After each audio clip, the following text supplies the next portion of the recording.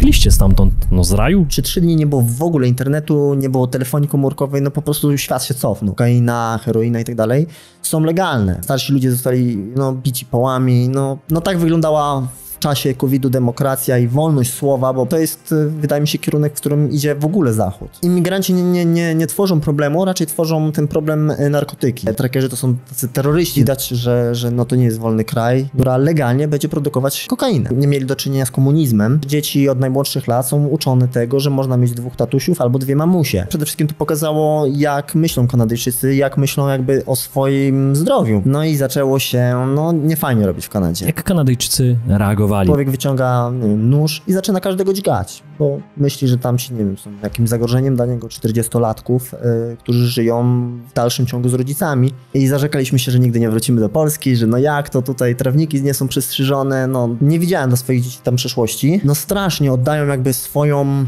tutaj niezależność, jeżeli chodzi o gotówkę. Władza za, za pomocą policji, no, no niszczyła ludziom życia, e, biznesy były zamykane, ci dzieci nawet w szkole dostaną złą cenę, idą do, do lekarza, dostają jakieś tam proszki na, na uspokojenie. Mieliśmy zawsze jakby takie marzenie amerykańskiego snu, nazwijmy to. Jeżeli rodzice, załóżmy, za bardzo ingerują w to, czyli jakby zabraniają dziecku się identyfikować jako kot, no to szkoła ma prawo, tak na dobrą sprawę, moje miejsce jest tam, gdzie jest moja rodzina.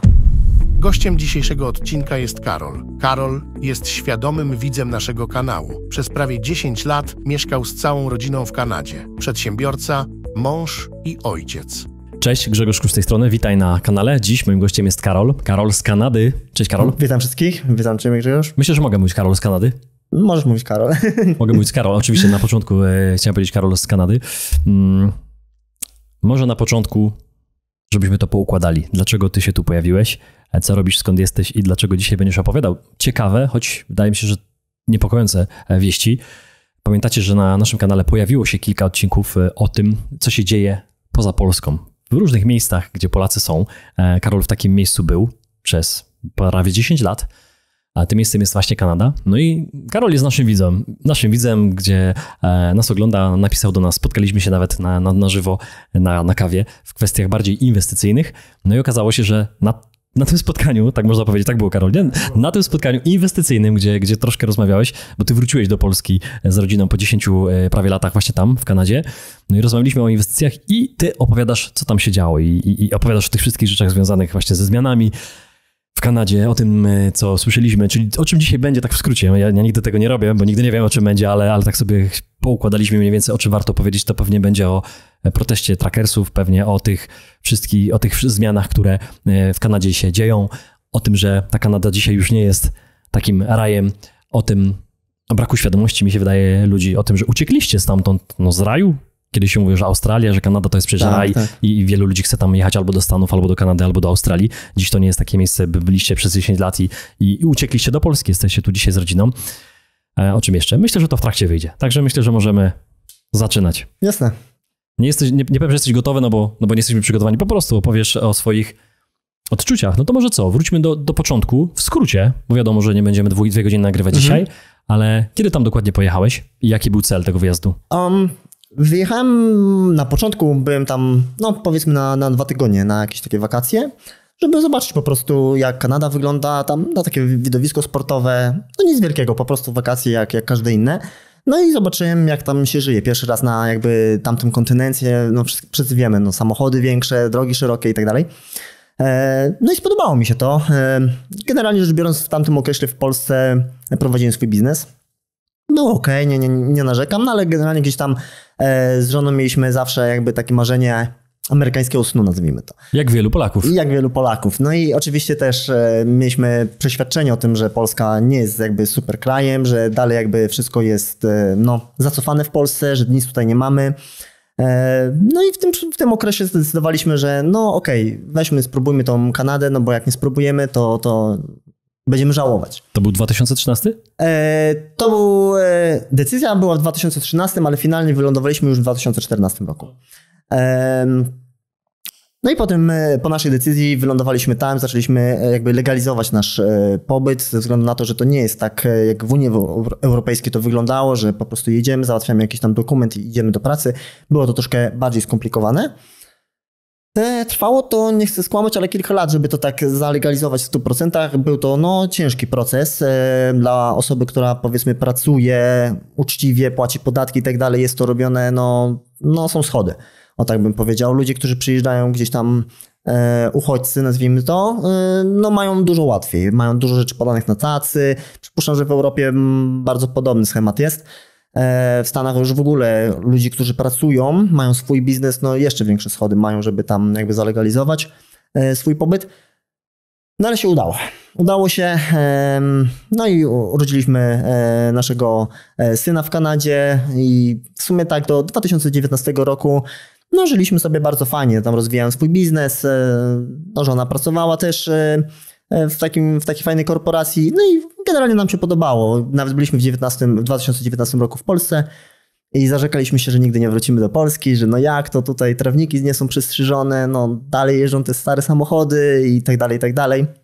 W sklepach generalnie poszliśmy tam, zobaczyliśmy, o u nas takie buty kosztują stówkę, tutaj kosztują siedem.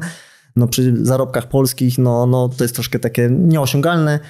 Więc no zarzekaliśmy się, że nie ma szans, nigdy tutaj nie wrócimy. No i się przeliczyliśmy, ponieważ no wszyscy wiemy, 2020 rok, e, pandemia, no i zaczęło się no, niefajnie robić w Kanadzie. E, w 2015 roku generalnie już mieliśmy takie no, przesłanki. Mm, Trudeau, Justin Trudeau wygrał wybory wtedy. No i generalnie jest to taka bardzo. No wtedy nie, nie interesowaliśmy się tak polityką, ale jest to bardziej e, z lewej strony partia, taka bardzo, bardzo liberalna, bardzo tolerancyjna, gdzie generalnie Ka- Kanadyjczycy są tolerancyjni, byli wcześniej, e, natomiast tutaj już idziemy troszkę taką skrajność. No ale powiedzmy do pandemii nas to w ogóle nie interesowało, nie interesowało nas co się dzieje w szkołach, służba zdrowia i takie tematy w ogóle jakby były obok. Pracowaliśmy sobie normalnie tam 6 dni w tygodniu i było fajnie. No i podczas pandemii jakby zo- zobaczyliśmy e, przygody różnych ludzi, biznesów, e, gdzie no generalnie władza za, za pomocą policji no, no niszczyła ludziom życia. E, biznesy były zamykane, ci, którzy się opierali temu, co się działo, no, no zbierali bolesne lekcje. Typu, no, byli aresztowani, procesy później się ciągnęły bardzo długo. E, Jest takie powiedzenie, dajcie mi człowieka, znajdzie się paragraf i, i to, to w bardzo wielu sytuacjach miało zastosowanie. E, Do, do momentu aż takiego absurdalnego zakazu dla, dla trackerów, no, którzy się sprzeciwili e, temu, co się działo w państwie. Nie tylko temu, ale ogólnie no, całemu jakby lockdownowi, temu, co się dzieje w Kanadzie, polityce Justina Trudeau. No i wyruszyli na, na Ottawę. No i, i myślę, że część e, widzów widziała w telewizji czy na YouTubie, co się, e, co się działo. No, generalnie protest, e, jak pamiętam, chyba pierwszy i wydaje mi się, że jedyny i ostatni w Kanadzie, jaki, jaki miał miejsce, skończył się tak, że został spacyfikowany. e, No nie będę mówił tutaj, że tak jak w Polsce upadała komuna, ale, ale no, armatki wonne pały, e, poszły w ruch, gdzie tam było takie słynne chyba na Instagramie albo na YouTubie e, nagranie, gdzie kobieta, starsza pani, która o takim wózeczku chodziła, no po prostu została strat, stratowana przez konie. Starsi ludzie zostali no, bici połami. No, no tak wyglądała czasie COVID-u demokracja i wolność słowa, bo ci drakerzy nie robili nic złego. To byli ludzie, którzy po prostu przyszli protestować, e, chcieli, żeby ich głosy zostały usłyszane, stali mm, swoimi samochodami ciężarowymi zaparkowani na ulicach, ale to nie było tak, że oni wybijali szyby w oknach czy coś dewastowali. Na początku rząd tam robił takie podchody, że tam gdzieś wywiesili swastykę i tak dalej. No i powiedzieli, że to oni. No i oczywiście opinia publiczna to bardzo mocno podchwyciła i tam nazywała ich nazistami. Takie te schematy były. No ale to było jakby ustawiane wszystko. To później oczywiście wyszło na mo- monitoringu i tak dalej, i tak dalej, więc to było tak mocno ustawiane. No ale bądź co bądź ten protest e, został spacyfikowany, e, ludzie zostali aresztowani, byli więźnie polityczni, w tym nawet mamy takiego słynnego polskiego e, księdza, e, co prawda nie, nie z tej prowincji, w której ja mieszkałem, ale on też e, jakby działał tak anty e, rząd i też jest poniekąd takim więźniem politycznym. Jak coś się tam dzieje takiego większego w Kanadzie, to jest z automatu aresztowany, bo już są jakieś tam podejrzenia. No i to nas jakby tutaj z żoną bardzo, bardzo zaniepokoiło, w którym kierunku to wszystko idzie. No i zaczęliśmy jakby szukać alternatywy, edukować się. Z tym właśnie zaczęliśmy oglądać twój kanał, no patrzeć co się dzieje na świecie, co się dzieje w Polsce, w innych miejscach. E, poniekąd też patrzyliśmy pod swoją wygodę, mm, żeby znaleźć jakąś alternatywę, gdzie nie ma zimy. No Kanada niestety. Czy szukaliście ciepłego kraju i E, no i wędrowaliśmy w Polsce. Aczkolwiek no, zimy w Polsce są zdecydowanie łagodniejsze niż w Kanadzie. No właśnie ty mi to ostatnio powiedziałeś, że my, my tu zim nie mamy, rozumiem, w Polsce w porównaniu tak. do Kanady. Tak, no w Kanadzie zima taka, no powiedzmy ostatnia, którą, którą pamiętam, czyli, czyli zeszła zima, no było tak, no, że, że rano się wstaje i się szuka samochodu e, momentami i następnego dnia mamy powtórkę z rozrywki i następnego dnia znowu. Także to nie jest tak, że spanie nam 15 cm śniegu i już e, następnego dnia mamy piękne, piękną zimę, dzieci na sankach zjeżdżają. No, moje dziecko za dużo na sankach nie pozjeżdżało, bo tego śniegu spada tyle, że no, zakopie się w tym śniegu. No te zimy nie były fajne i temperatury minus 30, 32 to tak na porządku dziennym, więc no, no nie mamy w Polsce zimy. Mhm. W telegraficznym skrócie przeleciałeś od tego momentu, w którym byliście w Polsce i żyło wam się dobrze, i nie ze względów finansowych jechaliście do Stanów w 2014 roku. E, no i e, przeleciałeś e, cały ten, można powiedzieć, wasze prawie dziesięcioletnie, mm, dziesięcioletnie życie, gdzie wróciliście znowu do Polski. I Czyli to już nie jest raj, bo nie wiem, czy pamiętasz, pewnie pamiętasz, bo tam rozmawialiśmy, gdzie mnóstwo Polaków, tak, w latach 80., 90. i dalej, tak, chciało najpierw jechać do Niemiec, gdzie przecież zarabiało się Czasami takie były przeliczniki z 20 razy, 25 razy więcej niż w Polsce, więc to nie da, no tam, tam nie było dyskusji czy, tylko kiedy i w jaki sposób jechać, żeby, żeby zarobić, a później Stany, tak? Później Stany były takim miejscem, e, takim, takim niebem, tak? Żeby tam pojechać i spełnić swój e, amerykański cen i również Kanada. No i ty pojechałeś i zobaczyłeś, jak to wszystko wygląda, szczególnie w tym 2020 roku i później, tak? I później. Myślę, że wszyscy w Polsce pamiętają ten e, ten protest trackersów, no bo oczywiście relacje były z różnych miejsc e, na świecie i, i myślę, że w marcu 2020 wszyscy się trochę wystraszyli. No tak, tak trzeba tak. powiedzieć, że tak, taki jest fakt, że wszyscy troszkę wstrzymali mm, oddech. Może na tydzień, może na dwa, może nawet na miesiąc, ale później, co, co sprytniejsi, zaczęli analizować i mówili, coś mi tutaj e, nie gra. I myślę, że ty też e, należysz do tych osób, no bo e, siedząc tutaj i nie, nie dając się tej całej narracji, tej całej machinie, która, która ruszyła również na, na, na, na ludzi, w zasadzie na cały tak. potężny kraj kanadyjski, mm, gdzie, gdzie tysiące, mi się wydaje, tych trackersów. No przecież ten protest, ta długość ciężarówek, ja nie wiem, jak, jak, jaka to była długość na... na, na no nie, chcę, nie, nie, chcę skłamać, ale tam w kilometrach, kilku kilometrach, chyba tam 10 kilometrów, czy już nie pamiętam, ale no jak jechali tam przez prerię, gdzie tam no każdy tam na pewno widział kiedyś takie długie amerykańskie drogi, w Kanadzie też takie były, no to się ciągnął, ciągnął aż po horyzont, nie? że nie było końca widać. No było tych ludzi no dosyć dużo. Nie wiem, nie pamiętam liczby, jakie tam dojechały do Kanady, no ale za tą Ottawy no tam dosyć mocno zblokowali. Um, generalnie jakby według mnie w obliczu jakby całej Kanady to i tak było bardzo mało ludzi. To była jakby e, jedyna grupa ludzi, którzy się odważyli sprzeciwić. E, no Kanadyjczycy, Kanadyjczycy są no, tacy, takimi ludźmi, którzy są bardzo ugodowi. Są bardzo mili, ugodowi, bardzo tolerancyjni. Generalnie bym powiedział, że nawet po pandemii byli mm, powiedzmy tacy, że, że ich domy są zawsze otwarte, czyli zawsze można przyjść, powiedzieć, nie wiem, no, samochód mi się zepsuł czy coś. Bardzo pomocni, bardzo otwarci e, ludzie. Natomiast e, po pandemii też było mm, takie zauważalne, że sporo ludzi się zmieniło. Było tacy, tacy, tacy, bym powiedział, że byli mocno sfrustrowani. E, bardzo nerwowi się niektórzy zaczęli robić. Takie sytuacje, że ktoś tam komuś, nie wiem, na ulicy palcem pokazywał. No wcześniej nie było do pomyślenia, a później było to widoczne po prostu. Więc jakby te wszystkie lockdowny miały mentalny wpływ e, na, na Kanadoli, dosyć duży. No, Kanadyjczycy byli bardzo uprzejmi. No, generalnie po pandemii się mocno to zmieniło. Nie tylko w e, sferach jakby takim mentalu, ale też jakby e, w sferach finansowych. E, mieliśmy coś takiego, zresztą dzisiaj jest w Kanadzie duży kryzys, jeżeli chodzi o taką zdolność statystycznego Kanadyjczyka do zakupu, załóżmy, własnej nieruchomości. Jest ogromny problem z tym na przykład, że ludzie, dorośli ludzie, i tu mam na myśli takich 40-latków, którzy żyją w dalszym ciągu z rodzicami, bo ich nie stać po prostu, żeby kupić dom. E, tutaj też trzeba wspomnieć o tym, że Większość ludzi mieszka w domach w Kanadzie, nie w mieszkaniach, więc taka mm, normalna nieruchomość y, dla, dla przeciętnego, statystycznego Kanadyjczyka to jest dom. W Polsce mieszkamy w większości w mieszkaniach, w, w blokach, więc tutaj trzeba to rozróżnić. Niemniej jednak, no te domy, no takie kiepskiej jakości kosztują absurdalne kwoty, w zależności oczywiście od miejsca, ale powiedzmy nie w Toronto, ale gdzieś tam na obrzeżach za, za taki dom, no cały do remontu, albo nawet bym powiedział do zburzenia, no trzeba ponad milion dolarów zapłacić. Więc no dla osoby, która powiedzmy skończyła studia, przestało to być w ogóle jakby realne, żeby coś takiego kupić. No bo trzeba pamiętać, że no zarabiamy jakieś tam pieniądze po studiach, nie są to największe, dopiero wchodzimy na tą drogę zarabiania.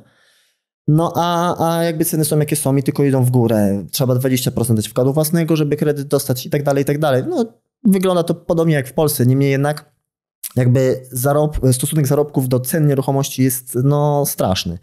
No i tutaj jakby myśląc o swojej przyszłości, swoich dzieci, widziałem, że no jak ja im nic nie zagwarantuję, no to będzie problem z tym. Na szczęście no miałem trochę szczęścia, nieszczęścia. E, dosyć wcześnie weszłem na ten rynek nieruchomości, miałem swoją nieruchomość, więc jakby nie musiałem się martwić e, tym, że te ceny rosną. Akurat to działało, działało na moją korzyść w tym momencie. Mhm. Niemniej jednak no podczas pandemii jakby mój mental mm, i moja edukacja poszła w kierunku takim, że te rzeczy takie wspaniałe, o których e, powiedziałem, że możemy sobie to kupić, e, takie materialne po prostu zabawki, nie zabawki, te, te życie, takie, taki amerykański sen, to nie do końca jest to, czego ja oczekuję od życia. Um, dlatego też jakby, no, to był jeden ze składników e, tego miksu, który spowodował, że stamtąd wyjechaliśmy, no bo nie widziałem dla swoich dzieci tam przyszłości. Niemniej jednak jest to bezpieczny kraj, bezpieczny w sensie takim, że e, nikt nie przyjedzie z zagranicy, nie zatokuje tego kraju. Niemniej jednak no, nie widziałem tam po prostu swoich dzieci chodzących do szkoły, później chodzących do pracy. Nie widziałem swoich dzieci e, w momencie takim, w jakim ja byłem, bo po prostu to, w którą stronę Kanada idzie, nie jest niczym dobrym i tutaj widzę, że no po prostu te dzieci sobie by nie poradziły. Mhm. Znaczy powiedziałeś o tym, o tej twarzy e, Trudeau, która z całą tą, z całym tym aparatem, z tą siłą, która, mm, którą mają do wykorzystania, ruszyła na ludzi, e, szczególnie na ludzi, którzy no, sprzeciwiali się tak, pomysłowi e, eliksirowania wszystkich, e, którzy, którzy nawet tego nie chcieli czy nie potrzebowali. Mm, no i Widzieliśmy, jak się, to, jak się to skończyło, a jak Kanadyjczycy reagowali, no bo oczywiście, a to może jeszcze skończmy temat związany z tym, co się wydarzyło e, na proteście trackersów, no bo przecież tam była sytuacja taka, że zablokowano, zablokowano konta, tak, konta bankowe. Tak. E, i to, ja to zrozumiałem na początku w ten sposób, że zablokowano konta bankowe tym osobom, które były na proteście, czyli tym trackersom, a podobno ty mi powiedziałeś, że to było trochę inaczej, że zablokowano konta wszystkim osobom, które kiedykolwiek wpłaciły pieniądze. Wspierały protest. E, wspierały protest, tak? Czyli była, nie wiem, była jakaś zrzutka, tak? E, czy jak to wyglądało? E, generalnie rzecz biorąc, no, mm, jeżeli chodzi o, o pierwszy może powiem o Kanadyjczykach, no Kanadyjczycy jakby nigdy nie mieli, do, e, nie, nigdy nie brali udziału w takiej wojnie, jak załóżmy my. Nie, nie, mieli do czynienia z komunizmem e, w takiej formie jak my. Także ich jakby wiara w to, co mówi rząd jest, jest bardzo duża. Jeżeli niezachwiana. Rząd, niezachwiana, mhm. dokładnie. Jeżeli rząd mówi, że białe jest czarne, to, to Kanadyjczycy będą w to wierzyć. Oczywiście są wyjątki od tego odstępstwa. Bardzo dużo ludzi przyjeżdża też z krajów, e, no, gdzie jest wojna, jest komunizm, więc no, dużo ludzi ma pojęcie o tym, co się dzieje. Niemniej jednak zdecydowana większość Kanadyjczyków e, no niestety nie ma i, i wierzy po prostu rządowi, choćby nie wiem, co się działo. Dlatego Kanadyjczycy e, jak e, zaczęło się, jak powiedziałeś, eliksirowanie, mhm. no to tam w 90 paru procentach poszli, stali w kolejkach i, i, z uśmiechem na twarzy nawet były różne takie festiwale, konkursy robione.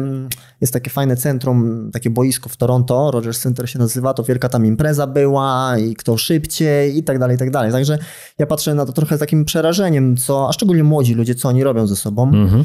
Znaczy u nas też było, nie? Przecież był konkurs hulajnogę, można było wygrać, także generalnie no. wiemy, wiemy, że gdzieś tam do tego akcja marketingowa była e, Oczywiście, do, no, do, do, dołożona. Produkt musi się sprzedać, prawda? Mm, dokładnie tak. E, także no tutaj trochę z przerażeniem na to patrzyłem. E, przede wszystkim to pokazało, jak myślą Kanadyjczycy, jak myślą jakby o swoim zdrowiu, prawda? Że, że no tak naprawdę inaczej, w Kanadzie i w Stanach jest bardzo duży, bardzo popularny taki, taki e, eliksir na grypę. Mhm. I to się co roku bierze i co roku się to odnawia i tak dalej, i tak dalej. Mega dużo tego. Są kolejki, jak przychodzi sezon grypowy i tak dalej. Także samo to w sobie, zamiast jakby dbać o swoją, mm, powiedzmy sobie, e, swoje zdrowie, odporność. swoją odporność mhm. i tak dalej, no to oni się wolą szprycować, czy to mhm. jakimiś pigułkami i tak dalej. Także tutaj mnie to martwiło, no ale mnie to nie dotyczyło, że tak powiem, no patrzyłem na to mm, jakby z boku i, i no okej, okay, no róbcie wasze życie, róbcie sobie z tym, co chcecie. E, natomiast jeżeli chodzi o, o, mm, o konta e, trackerów, e, o czym powiedziałeś, no była taka zrzutka, mm, to był GoFundMe, o ile dobrze pamiętam, taki, taki serwis, no jak zrzutka.pl powiedzmy, mhm. Gdzie ludzie z różnych miejsc w Kanadzie i nie tylko w Kanadzie zrzucali się, żeby wspierać ten protest. No bo wiadomo, oni tam siedzieli, musieli coś tam jeść, zima była, ogrzać się czymś i tak dalej. E, no i tam no, dolar, dwa dolary, no wiadomo, co ludzie tam przesyłają, prawda? To nie są jakieś wielkie e, kwoty, no tam chociaż były też większe, a generalnie rzecz biorąc, no ludzie wiadomo, jak wspierają takie, takie rzeczy. Liczy się ilość ludzi, a nie, nie, nie. Także no oni tam, z tego co pamiętam, chyba około 10 milionów nazbierali. No i, i rząd Kanady wystąpił do, do tej organizacji, żeby te e, środki zablokować. E, na początku to było tylko takie żądanie, no i ta, ta organizacja to no, zablokowała i celu wyjaśnienia, na jaki cel idą te środki. No i oczywiście te cele muszą być, powiedzmy sobie, szczytne, czyli jakieś tam ratowanie zdrowia, ktoś tam miał wypadek czy coś takiego. W żadnym wypadku nie powinno być to, żeby szerzyć terroryzm. I tutaj uwaga, w pewnym momencie było to tak podsiane, że, że ci e, trackerzy to są tacy terroryści, no bo przyjechali do miasta, zablokowali miasto, terroryzują miasto. Inna sprawa była taka, że jakby wspierali to miasto po wszystkich lockdownach, te wszystkie sklepy, które były pozamykane, no to odżyły, bo, bo dużo z tych ludzi jakby kupowało tam jakieś podstawowe produkty do jedzenia, czy jakieś tam kawiarnie, kupowali kawę, więc tak gospodarczo trochę tam odżyło to. No i druga rzecz, że jakby mieszkańcy tego miasta, no sami donosili na tych ludzi, a tak naprawdę ci ludzie walczyli w ich imieniu, więc to takie, no taki trochę dziwny tutaj e, spór się wywiązał pomiędzy niektórymi ludźmi a tymi trackerami. Niemniej jednak e, raczej z tego, co ja widziałem, będąc na miejscu, znaczy nie w Ottawie, tylko, tylko w Kanadzie, widziałem, że raczej ludzie wspierają to. A to było oczywiście troszkę inaczej niż w telewizji pokazywali, no bo w telewizji oczywiście robili wywiady tylko z tymi, którzy byli przeciwni i tak dalej. No i wracając do tych kont, e, było tak, że oczywiście pani, która, organizacja, generalnie tam była taka pani, która, e, taka kobieta, która zajmowała się organizacją tego protestu, no nie była za bardzo w stanie przedstawić jakby takich e, silnych dokumentów, które mówią o tym, że to jest szczytny cel, no i generalnie rzecz biorąc to też było trochę naciągane, że, że te dokumenty, które ona przedstawiła, no oczywiście mamy demokrację, jest wolność słowa, możemy przyjechać tutaj i powiedzieć co chcemy, nie ma jakichś zakazów w konstytucji i w karcie praw e, kanadyjskiej, która jakby zabrania nam tego. No niemniej jednak e, no, przedstawione dokumenty nie wystarczyły, no i te środki zostały zablokowane. No i pierwszym chyba tygodniu, czy w dwóch tygodniach było powiedziane, że te środki, i uwaga, nie zostaną zwrócone do tych ludzi, którzy wysyłali te pieniądze, czyli załóżmy ja będąc powiedzmy w Polsce, wysłałem tam 10 dolarów, to nie zostanie mi zwrócone, tylko te pieniądze zostaną przekazane na e, cele charytatywne wskazane przez rząd Kanady. Mhm. No oczywiście możemy się tylko domyśleć, jakie to są cele charytatywne i tak dalej, prawda? Fundacje, Trudo czy jakieś inne. E, nie pamiętam, czy do tego doszło, nie chcę tutaj już wprowadzać w błąd, natomiast e, no te, nie wiem, czy te środki zostały zwrócone w pełni. Niemniej jednak e, później jakby miasto Ottawa wystąpiło o, o coś takiego, żeby wprowadzić taki stan wyjątkowy, żeby można już siłą się pozbywać tych trackerów. No i wprowadzili taki stan wyjątkowy, przyszli policjanci z pałkami, z armatkami, z końmi, no i, i było już niewesoło.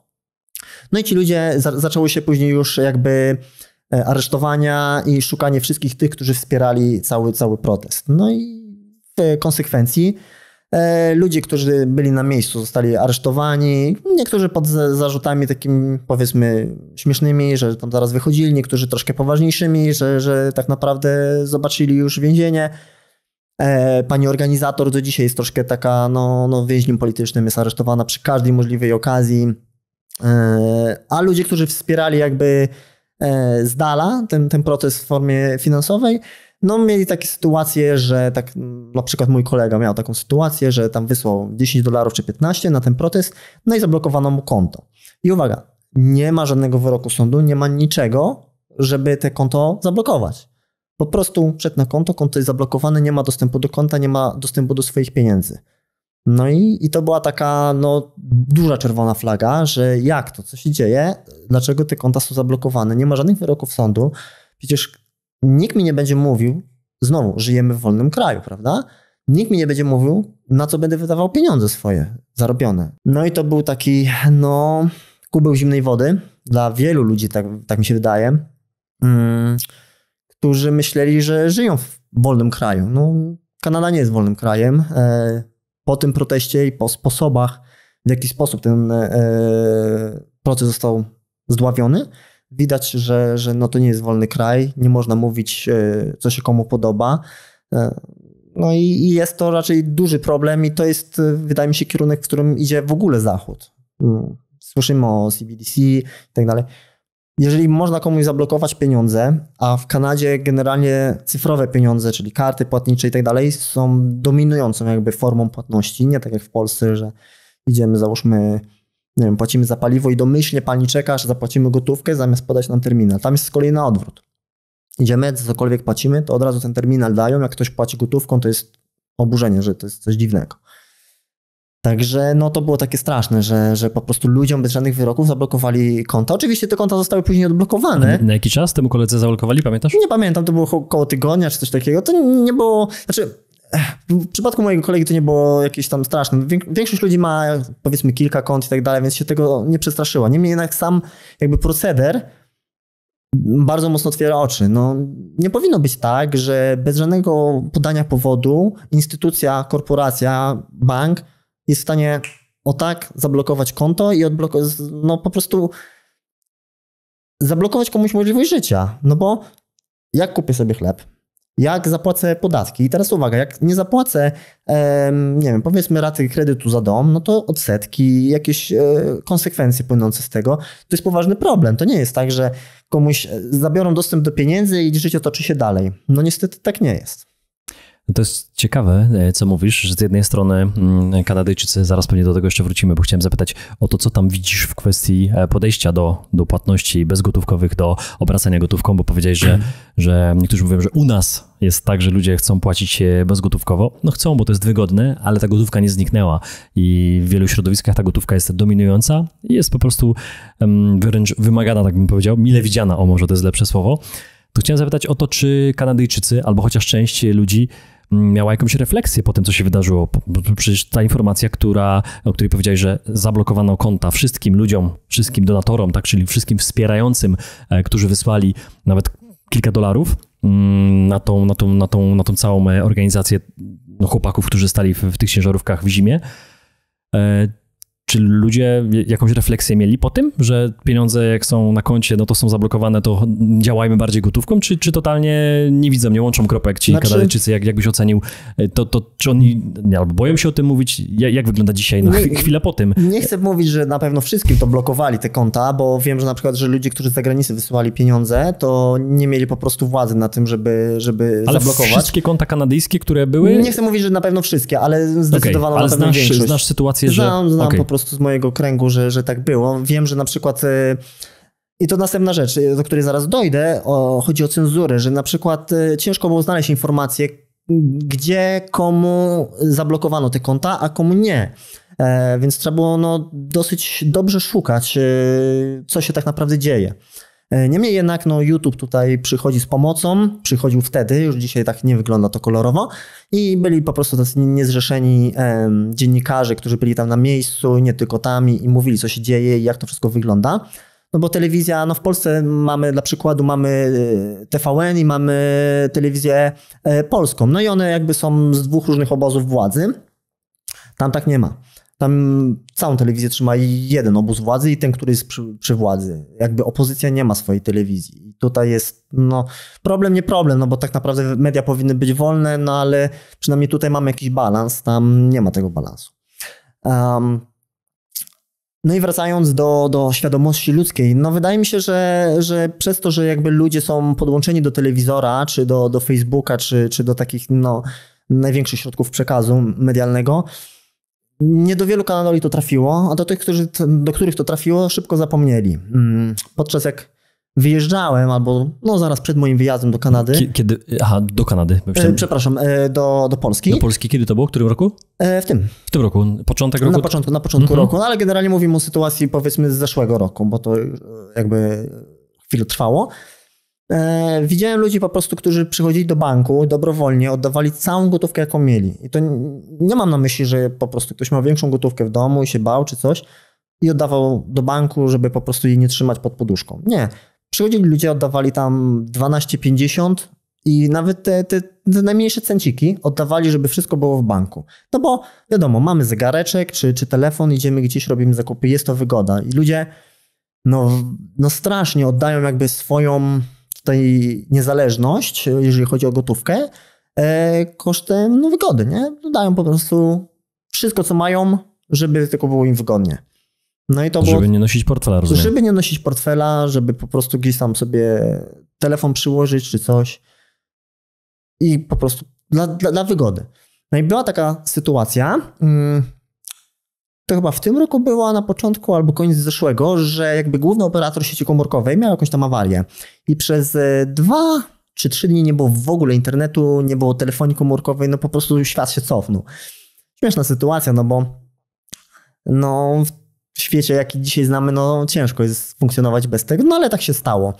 No i bądź co bądź, ten, kto nie miał gotówki, no to miał poważne problemy, no bo poszedł do, do sklepu, czy co, kupić, nie wiem, chleb, no i nie mógł zapłacić, no bo jak? Terminal działa po, po kablach telefonicznych i potrzebna jest sieć komórkowa, sieć telefoniczna, żeby zapłacić. No i nie mogli płacić ludzie, więc gotówka w tym momencie była no, takim darem z nieba i kto miał gotówkę, no to śmiał, bo normalnie robił zakupy, nie było żadnego problemu. Tankowo samochód, robił co chciał i, i, żadnego problemu nie było. Ten, co nie miał, no to, to siedział w domu. Nie?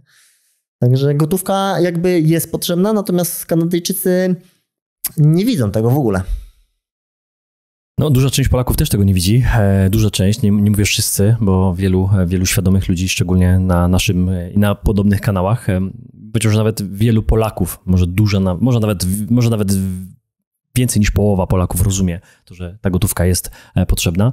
Ja nie jestem za tym, żeby całkowicie usunąć ani płatności bezgotówkowe, ani gotówkę, ani wiadomo, ani uważam, że każdy radykalizm jest zły. Uważam, że gotówka to wolność i gotówka to wybór. Fajnie by było, gdyby była płatność szybka, no bo jeśli mamy przelać, na przykład tobie, ty jesteś w Kanadzie, jestem w Polsce i ja potrzebuję tobie przelać pieniądze, to w jaki sposób? No nie pojadę, nie polecę, nie polecę do Kanady, e, no bo ty potrzebujesz już, tak? Ja ci pożyczam albo tak. ci oddaję i potrzebuję ci oddać pieniądze. Obojętnie, czy, czy w krypto, jakkolwiek, nie? Czy chcę ci złotą monetę dać, nie ma znaczenia, ale jak ja ci to zrobię? No to akurat tutaj w takiej no, sytuacji ten, ten, ten przelew akurat myślę, że jest, e, jest fajnym rozwiązaniem. E, ale jeśli, jeśli jesteśmy tutaj, tak, ja przychodzę do ciebie i chcę ci wręczyć tysiąc złotych, no to po co ktoś o tym ma wiedzieć? Po co bankowi ta informacja? Jednemu bankowi, drugiemu bankowi, bankowi rozliczeniowemu? Dlaczego ja wysyłając e, bez szybkiego ekspresowego przelewu, których kiedyś nie było, wysyłając ci w piątek, w poniedziałek dopiero ty miałeś pieniądze? A co się działo przez te wszystkie dni? Więc ja, ja generalnie jestem za tym, za taką wolnością, żeby o, o wszystkim no, żeby, żeby nie było takiej kontroli. E, ale wracam do ciebie, bo jednak ty masz więcej do powiedzenia w temacie Kanady. Ja prawie nic.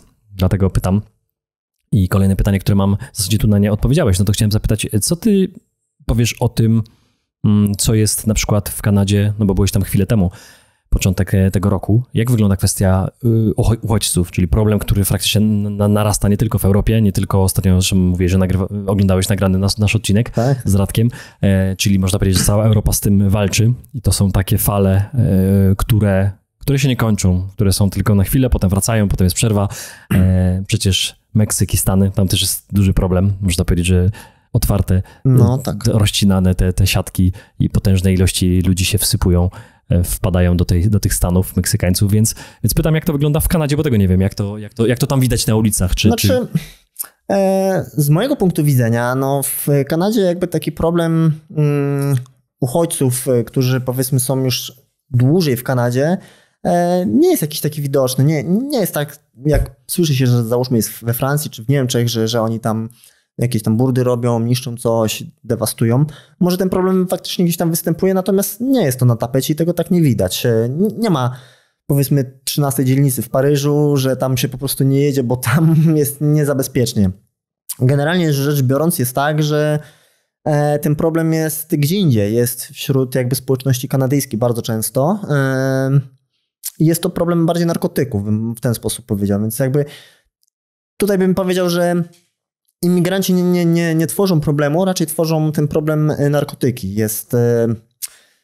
Trzeba powiedzieć, że w Kanadzie narkotyki, i to nie mam na myśli e, jako takiej marihuany, która no już dawno temu została zalegalizowana.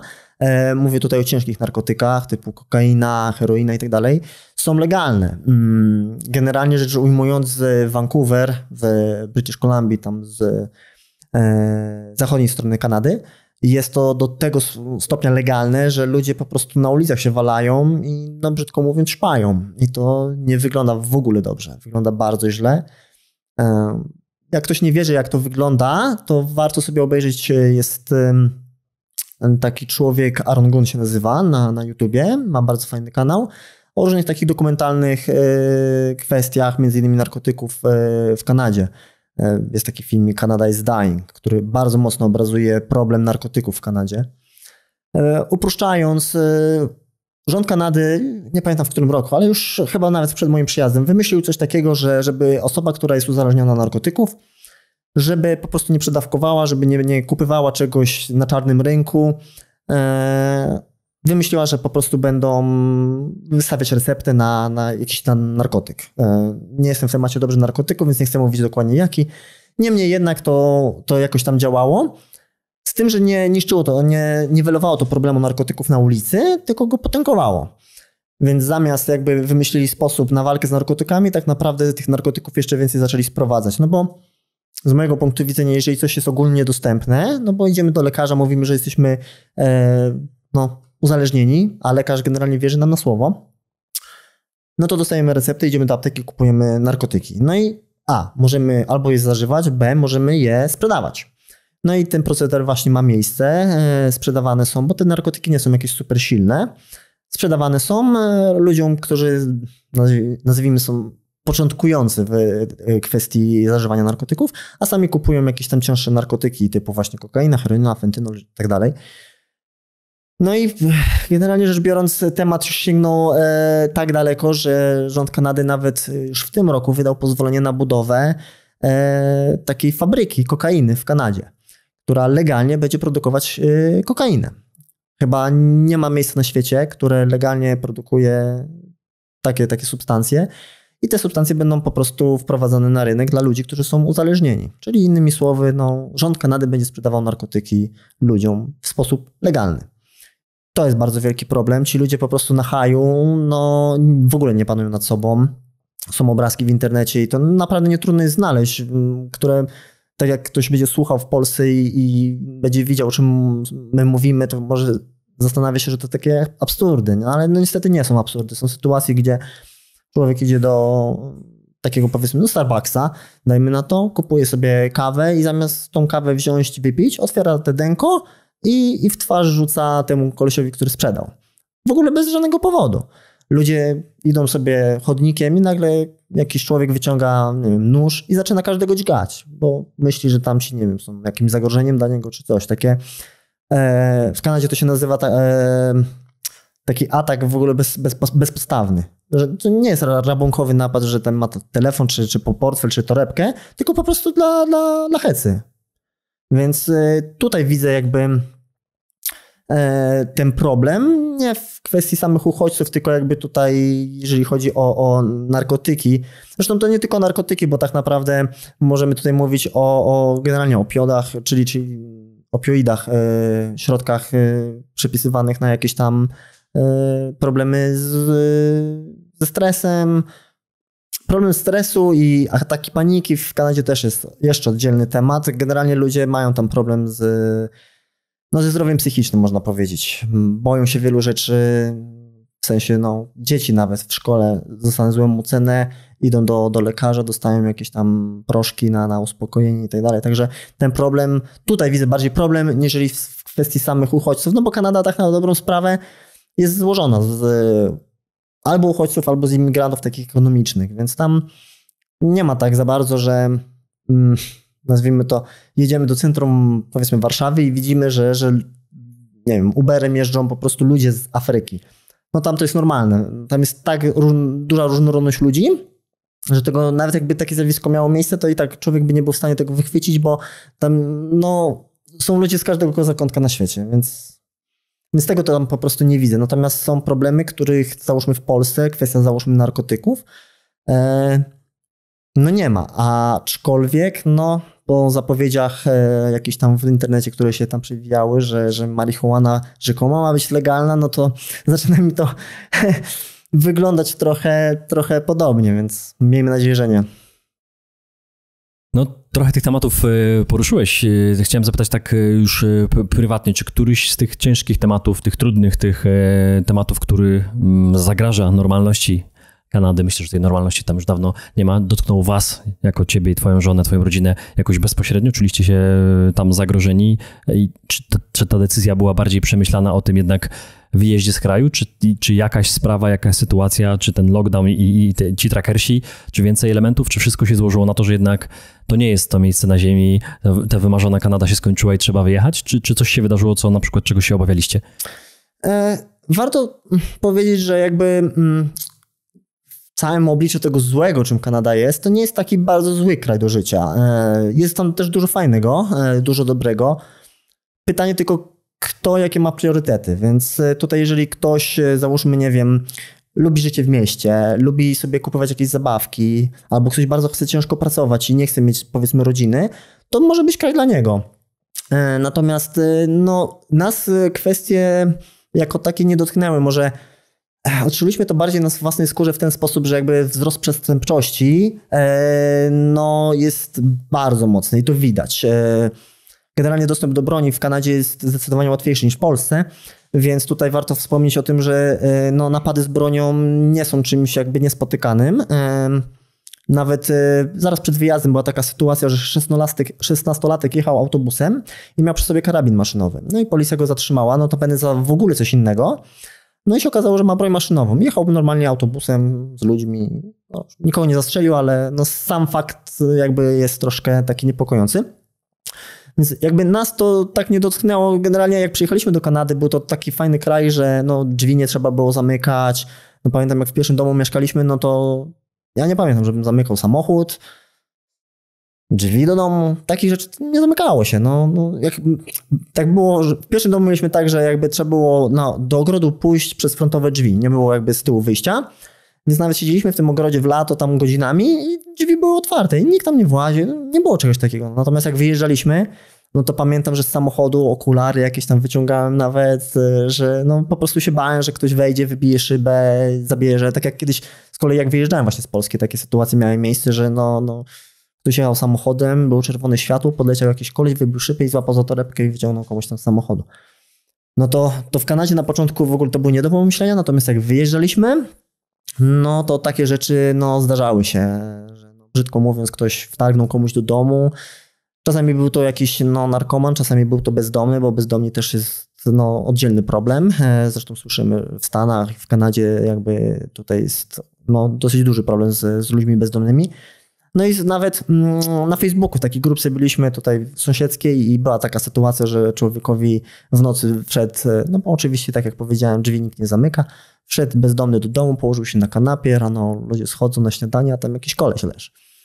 No, no i policja no, oczywiście go wyprowadziła. On nic złego nie robił, po prostu no, chciał się przespać na miękkiej kanapie zamiast gdzieś tam, gdzie indziej. No, no z takimi problemami jakby tutaj okoliczność, yy, moja okolica się zaczęła borykać. Jakieś tam, taka nasza ulubiona kawiarnia tam przeżyła taki napad, właśnie koleś przyszedł z pistoletem i tam zaczął wymachiwać. Także takie problemy zaczęły dotykać jakby tutaj jakby na najbliższej naszej sfery, gdzie jakby chodziliśmy na spacery, na kawę i tak dalej.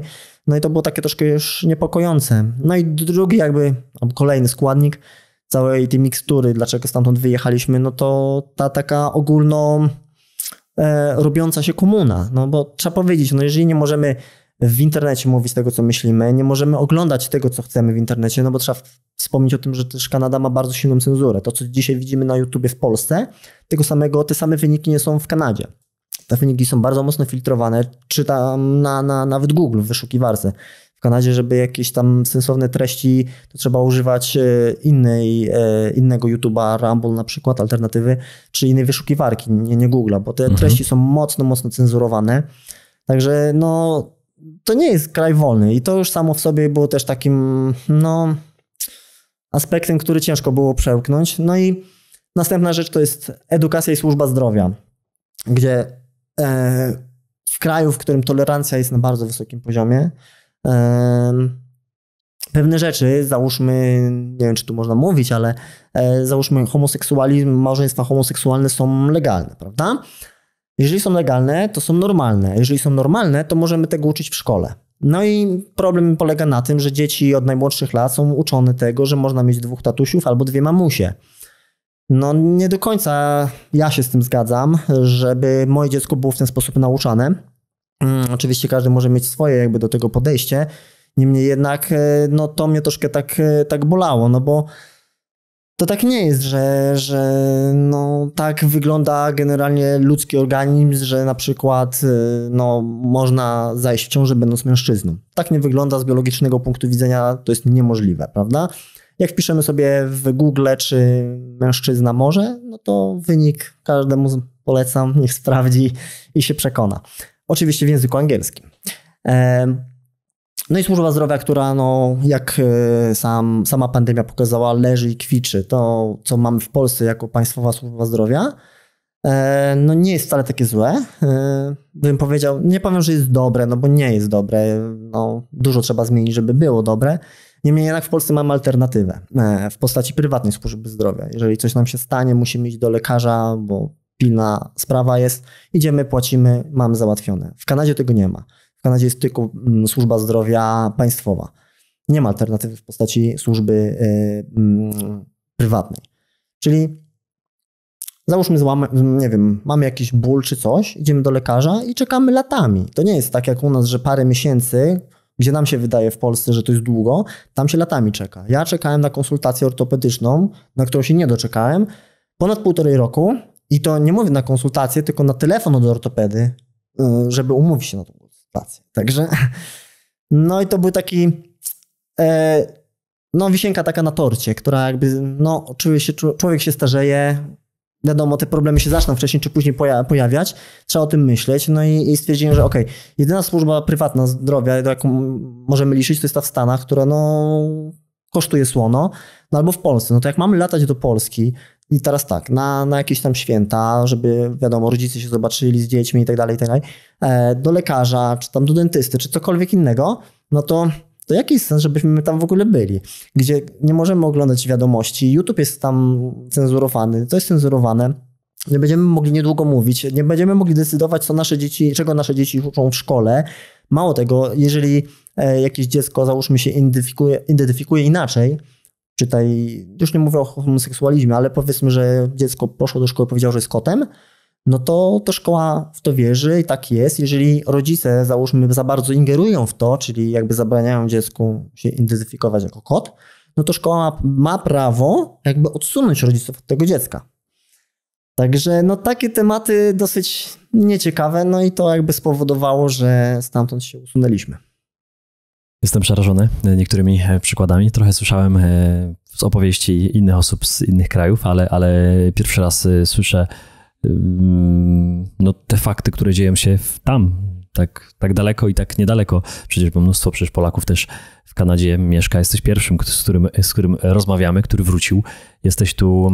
No to może takie pytanie na zakończenie, bo moglibyśmy pewnie godzinami rozmawiać, ale, ale już zbliżamy się do tej, do tej, do tej pierwszej godziny i Przyjechałeś tu początkiem tego roku, jest koniec tego roku. To pytanie o Polskę. Bym zapytał, no przyjechałeś tu z żoną, z, dzie z dzieckiem? Z dziećmi. Z dziećmi, z dziećmi, więc przyjechaliście tutaj wszyscy razem. E, szukacie jeszcze z tego co swojego miejsca, ale na razie jesteście chyba gdzieś w Krakowie, tak? W okolicach Krak Krakowa. Krakowa mieszkacie. Mm, czyli generalnie w dużym mieście, tak? Można powiedzieć, że w dużym mieście, gdzie się wszystko dzieje, gdzie jest też europejsko, no bo Kraków jest od zawsze europejskim miastem i turystycznym. Jak ty byś porównał Polskę tego czasu, kiedy ty wyjechałeś? A, a, a, tego, no jednak to jest prawie 10 lat, tak? I powiedziałeś, że wtedy jak wyjeżdżałeś, to było różnie, tak? Bezrobocie, no to jest 10 lat, to jest bardzo dużo. Nie? To jest bardzo... Pytanie bardzo, nie, nie, pla, nie planowałem w ogóle go dzisiaj mhm. zadać, ale tak mi się złożyło do zakończenia tego. E, przede wszystkim no Polska bardzo mocno się zmieniła. Bardzo mocno. I nawet bym nie powiedział, że na przestrzeni tych 10 lat, bo to jakby jest oczywiste, mhm. Ja bym powiedział, że nawet mocno się zmieniła na przestrzeni przed COVID-em, czyli ten 2019 rok i, i do dzisiaj. Jakby skutki COVID-u w Polsce nie są tak e, odczuwalne jak w Kanadzie. Tam generalnie bardzo mocno jakby wszystkie korporacje położyły rękę na tych mniejszych firmach, czyli tam restauracje zostały poprzejmowane i tak dalej. Jakby wielkie, wielkie korporacje mają wszystko, nie ma takiego wolnego rynku jak w Polsce. No tutaj w Polsce no na pewno część firm też się wykruszyła, no, no normalne, jak wszędzie na świecie. E, natomiast widzę, że, że jest lepiej. Jest dużo fajnych takich małych knajpek prywatnych. Widać, że ten jakby prywatny, mały biznes dalej istnieje, dalej ma się lepiej bądź gorzej, ale dalej funkcjonuje. Jeżeli chodzi o jakby zmiany, nie wiem, na ulicach, e, jak się jeździ samochodem, e, jak ludziom się żyje, no może to nie jest jakby odpowiedź, którą widzowie oczekują, ale wydaje mi się, że jest lepiej. Jest dużo lepiej. E, no na pewno w tamtych czasach, kiedy ja wyjeżdżałem, no Kanada była fajnym krajem do życia. Inaczej też postrzegałem świat. Nie było tak, że, że myślałem o dzieciach, o ich przyszłości i tak dalej. Myślałem głównie o sobie, swojej żonie, więc e, to troszkę inne podejście moje było. E, niemniej jednak dzisiaj wolałbym, żeby moje dzieci się wychowywały, uczyły się w Polsce niż, niż w Kanadzie. E, z racji wszystkich tych problemów e, z tolerancją, z narkotykami, no, z wszelkimi jakby problemami Kanady, nawet jakby kosztem łatwego dostępu do pieniądza. No bo w Kanadzie, jak ktoś jest bardzo pracowity, to zarobi dobre pieniądze. Niemniej jednak, no wolałbym, żeby jednak się tutaj wychowywały, tutaj żyły, niż tam. No, według mnie Polska poszła w bardzo dobrym kierunku. E, fajnie jest, że dalej mamy własną walutę. E, jesteśmy w takim kraju, w którym ludzie pamiętają tą komunę. Lepiej bądź gorzej, ale są jakby nauczeni, czy to przez swoich rodziców, czy, czy na własnej skórze z czym się wiąże komunizm, że władzy tak za bardzo nie można ufać w, w każdej kwestii i to jest bardzo fajne. E, niemniej jednak, jak widzę wyniki wyborów, to trochę się sam sobie przeczę, bo no, no jak można jakby głosować zawsze na to samo, no bo nie, nie oszukujmy się, czy to Platforma, czy, czy PiS, to jest, to jest to samo I, i jak można oczekiwać różnych rezultatów, że, że coś będzie lepiej i tak dalej, no, no nie można, no nie da się. Więc no, pod tym względem, no nie powiem, że jest w Polsce lepiej bądź gorzej, jest tak samo, bo, bo jak wyjeżdżałem, to, to też tak było i, i widzę, że to się nie zmieniło.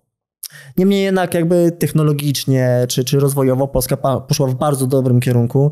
Jeżeli ktoś mieszka w Polsce i, i dzisiaj się powiedzmy z tego śmieje, co mówię, e, no to, to z perspektywy osoby, która mieszka w Polsce, wygląda to tak, taki syndrom trochę gotowanej żaby. Ciężko jest powiedzieć e, osobie, która tutaj mieszka, jakie te zmiany są, no bo na co dzień się to, to, to tak wolno postępuje, więc nie widzą tych zmian. Natomiast jak się wyjedzie na, na x lat z, z Polski, się powróci i się widzi tą Polskę, no to jest duża zmiana i duża, wydaje mi się, że na plus. Oczywiście, no, rzeczy są droższe, e, powiedzmy nieruchomości są droższe, jedzenie, inflacja i tak dalej, Niemniej jednak patrząc z perspektywy tego, co jest w Kanadzie, tam też jest inflacja, też e, jedzenie podrożało i tak dalej.